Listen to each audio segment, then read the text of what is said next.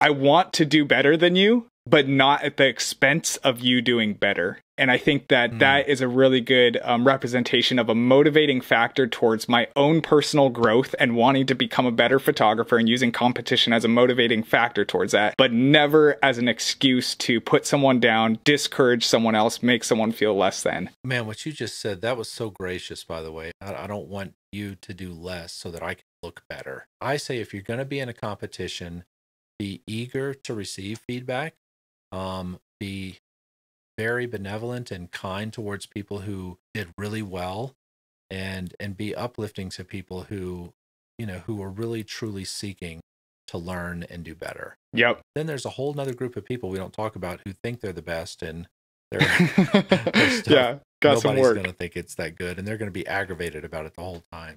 Yeah. Which, that might be me.